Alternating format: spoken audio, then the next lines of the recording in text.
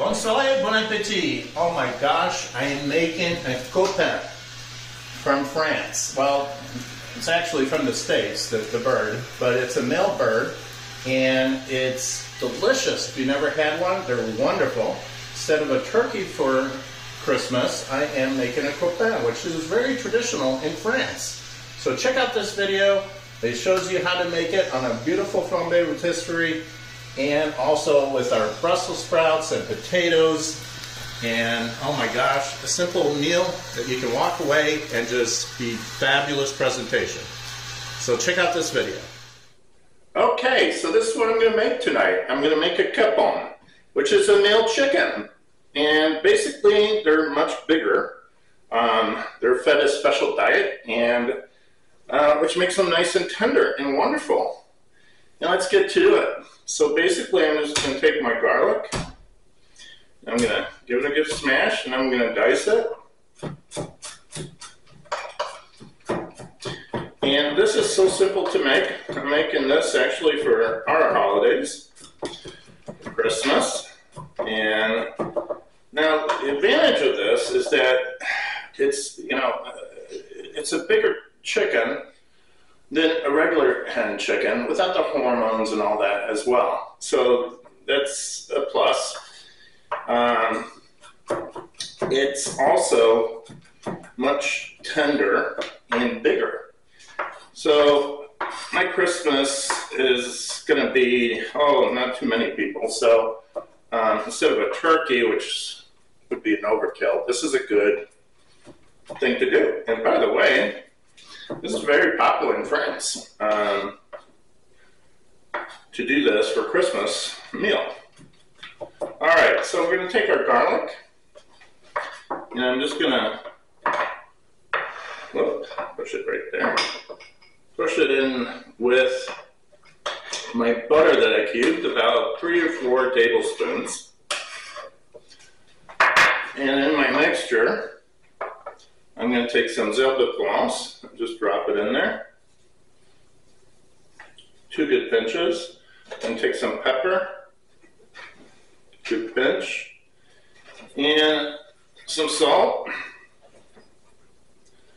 And then I'm just going to mix that.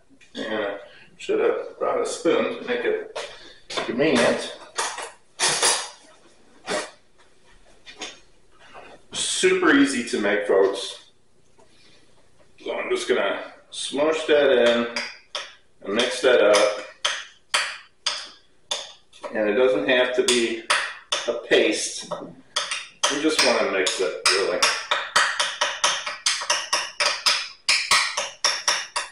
There we go.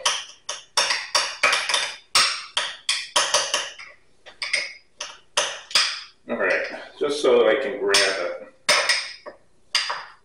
Now, I got my coarse black pepper handy. I got my Herbes de Provence handy, which is a southern French herb mixture. Um, I got some parsley stems that I kept, um, celery stalk, some rosemary, a little bit of onion, uh, the ends of uh, green onions, and uh, that's what I'm going to put in the cavity. And the first step, I'm going to take the chicken after I dried it off really good and actually leave it in the, in the uh, refrigerator for about an hour uncovered so it dries the skin much more. I'll make it a lot crispier.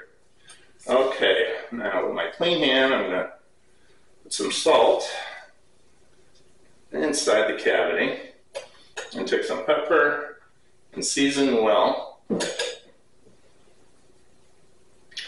some Herbes de Provence. Put all that goodness in there. And then I'm going to take my celery stalk, which most people would throw this away. This is going to add some wonderful flavor to it. And then I'm going to take the rest, just stuff it in there. Celery. Again, these are things that most people would go, oh, this is not something I want but actually it is something you want. And it will add beautiful flavor to that. Okay, now next step is you're going to take your chicken and you're going to loosen the skin from the breast right here. See that? Easiest way to do that is take a knife, take the back of your knife. That's my garlic there. And I'm going to take the back and see how I'm doing that? With my finger, loosen it. Do this gently and try to go as far back as you can without breaking the skin. On both sides, of course. Not hard to do. Just gotta have a little patience. All right, now we're gonna take our mixture and I'm gonna just break off a hunk here. And I'm gonna push that in and then push it in as far as I can with my fingers here, like that. And now, with your hands, you're going to move it. And you're going to work it even further into the breast. And you see how that's loosening the breast even further? I mean, the skin from the breast. Beautiful. Look at that. See that? And then you're going to repeat until you have used half of your mixture on one side. And this time not as far. There's nothing to it, really. There we go. And you see how I'm flying it? That. Look at that. Perfect. In here. Okay. Now, turn my chicken a little bit my capon, not my chicken, because the chicken is female. Um, just a wonderful holiday dish, and we're going to do on the rotisserie. And it's 10 pounds, so it's probably going to take about three hours on my rotisserie because I'm not doing it full blast. I want to cook it slowly and then I'll raise the temperature all the way up at the end when I want to brown it because I just want it to take its time. This in. There we go.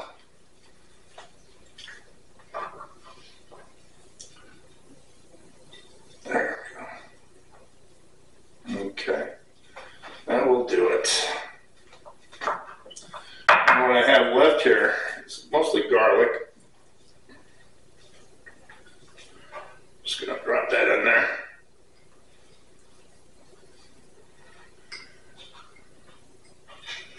Let it do its magic there. All right, I'm gonna truss it now. And I will season it on the outside and all that, but uh, first I'm gonna truss it and then I will season it and then add some uh, olive oil, which is in this case, it's just regular olive oil, and I infuse it with Herbes de. Uh, that takes about two weeks for it to be effective to a month. So if you don't have that, regular olive will work, and then, you know, at de Provence. So let me show you how we truss this. This out of the way so you can see. And, I mean, there's many ways you can do this, but Oh, and you can also do a stuffing for this, which is wonderful, and make a gravy and all that. But I'm doing this on the rotisserie, and I really, you could do stuffing on the rotisserie, but I'm choosing not to. There we go. Just make a simple knot here. I'm going to bring this over and go up, under, and over. Yeah. I don't know if I can say that again. Rewind if you need me to say it. All right, and then I'm going to make a knot here. You can use a butcher's knot.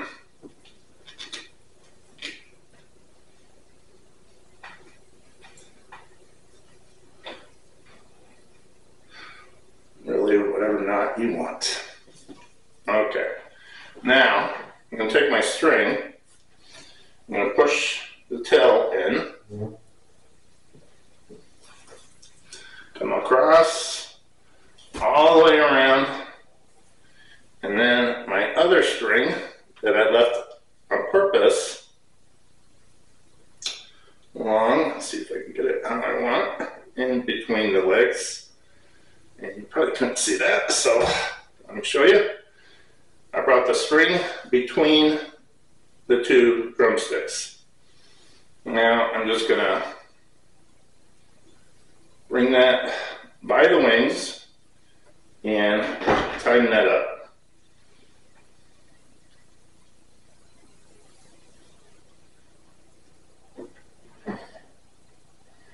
Over and under, and just a simple knot or butcher's knot, whatever you want to do is fine. All right, now we're going to tuck in our wing, and we're going to flip the croquette over. Now this is not a rooster. A rooster would be tougher. Uh, if you ever had a rooster, the meat's a little tougher.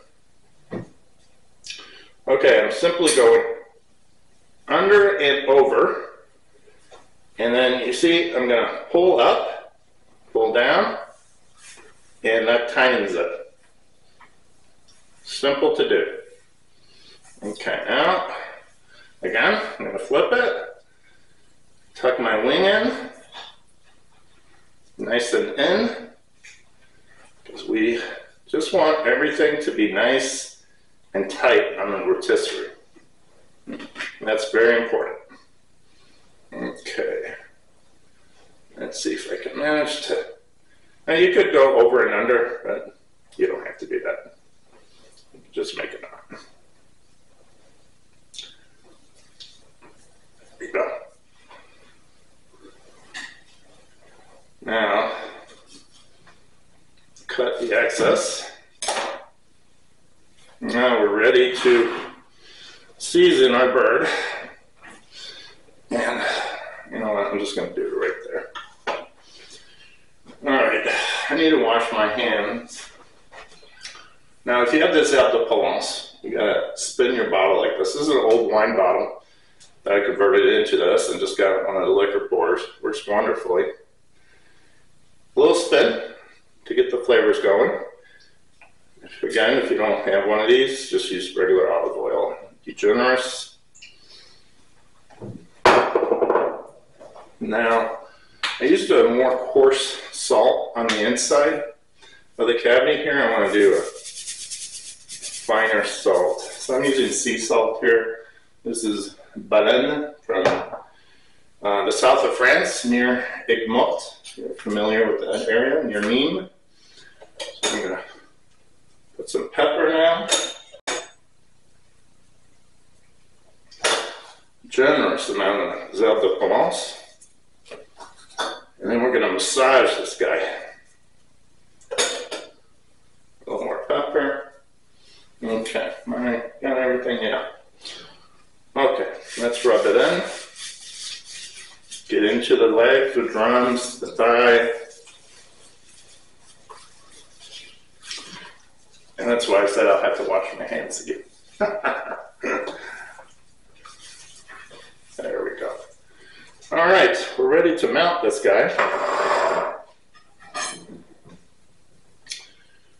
I'm just gonna make sure I push it through, but I don't break any skin. There, looks good. Let's do the breast end first. And you want it good. This is a big bird. You could go up to 12 pounds on your Flamberge rotisserie from Le. This is just almost 10 pounds. I've done a turkey on there, exactly 12 pounds, and no problem.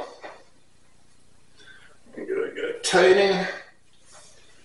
I got my special screwdriver that I only use for cooking. Goes in the dishwasher. Give it a good tight, but not too tight. Now I'm just going to stand my bird.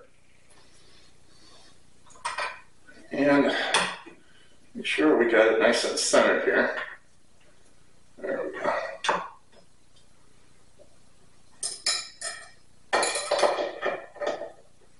Okay, push it in.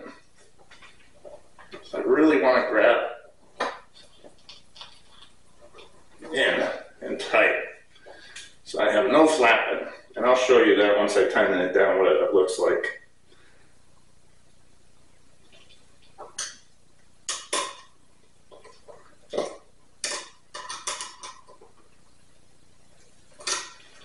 All right.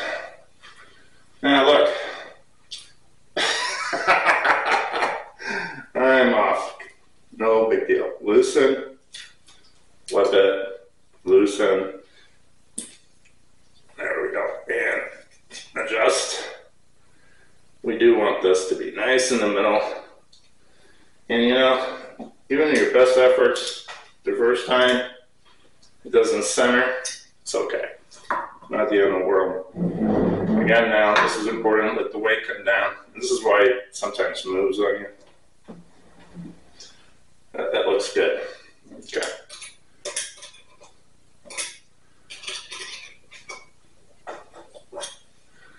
All right. Yeah. Perfect, yeah, that'll work.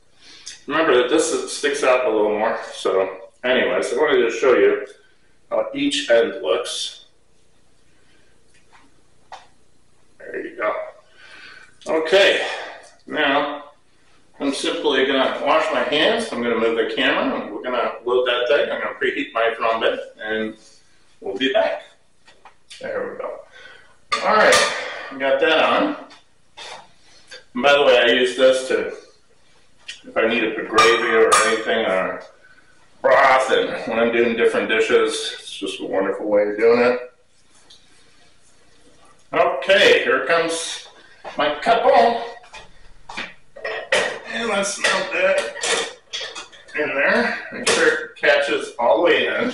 But look how easy that is. And let me put my tray.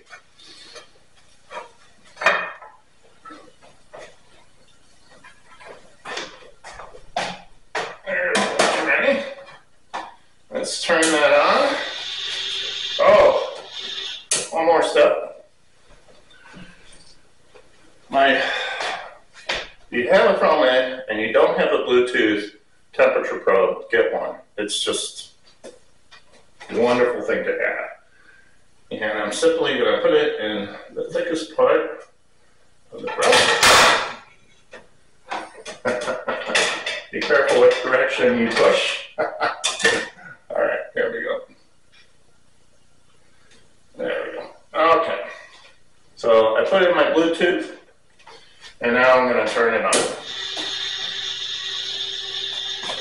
It's going to take about three hours. I'm going to set the temperature oh, about a medium high. It's about there. And we'll be back. All right, so two hours in, about an hour to go.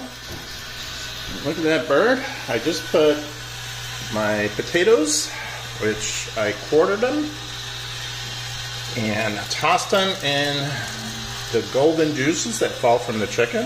Um, I should say the rooster or the male chicken. Anyways, then we got our Brussels sprouts. Um, and those I cut in half and put a little maple syrup, a little olive oil, seasoning, and yeah. We'll be back when this is ready. Toss the vegetables once in a while and you're all set. Oh my gosh, look at the results. So I apologize. Um, watch my other videos on how to carve uh, this capon. You would carve it as a chicken, just exactly like a chicken. But because I'm having guests, I'm about to let this rest. It's almost ready. So forgive me.